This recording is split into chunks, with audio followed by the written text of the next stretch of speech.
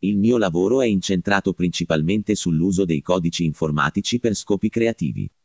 Le mie produzioni toccano campi diversi come l'arte generativa, la net art, l'arte urbana o l'archeologia dei media. Creo delle opere usando il web come strumento, ma anche installazioni interattive nello spazio fisico o creazioni più concettuali o anche performance sonore e visive. Mi ispiro alle culture popolari, come sono le molte culture geek o di internet, i graffiti, gli oggetti digitali vintage.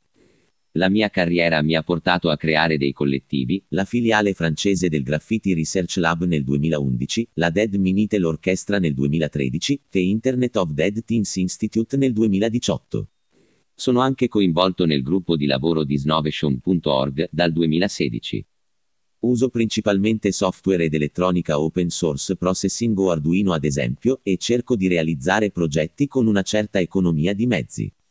Per questo prediligo sistemi economici o soluzioni che consumano poca energia, o addirittura elementi riciclati o reinterpretati.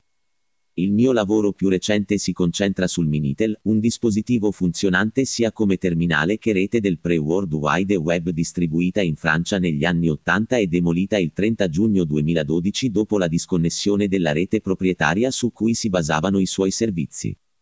Io, attraverso vari progetti, ho ideato e sviluppato soluzioni volte a dargli una seconda vita, toccando così qui il campo dell'archeologia dei media. Prima l'ho usato come ambiente per foto a bassa tecnologia, poi come strumento di performance visiva e sonora all'interno del collettivo The Dead Minitel Orchestra e infine, tramite il collettivo IODT, il Minitel trova una seconda vita sotto forma di linguaggio Linux connesso a Internet, sul quale si può navigare sul web in modalità testo, chattare, giocare a Worms o Tetris, ascoltare la radio in streaming. Questo progetto è stato esposto sotto forma di pop-up store, offrendoci un'occasione per riprendere, in modo ironico, i codici di comunicazione e il comportamento delle start-up nei confronti dell'innovazione tecnologica a tutti i costi. Il progetto che presento qui per la prima volta è stato avviato quattro anni fa, nel 2017, quando ho messo in piedi un robot software che, da allora, ha immagazzinato e trasformato più di 250.000 immagini prese dall'attualità e da varie fonti di informazione. Questi contributi modificati, qui assemblati in un video, ci presentano un flusso continuo di immagini, ricco in colori e personaggi vari, associati a forme ultrapixel.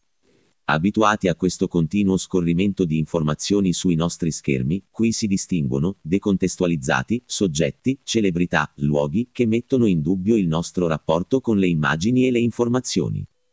Il video è accompagnato da una colonna sonora generata dalle parole che compongono i titoli degli articoli da cui sono tratte le immagini.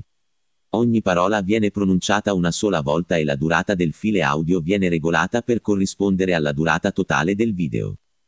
Questo progetto si chiama Aget Images, una contrazione di Agwetti, un gestore di terminali Linux, e Get Images, il database di immagini. Il video seguente presenta un riepilogo di 15 minuti delle 3 ore e 30 minuti rappresentate dalla somma delle immagini accumulate fino ad oggi.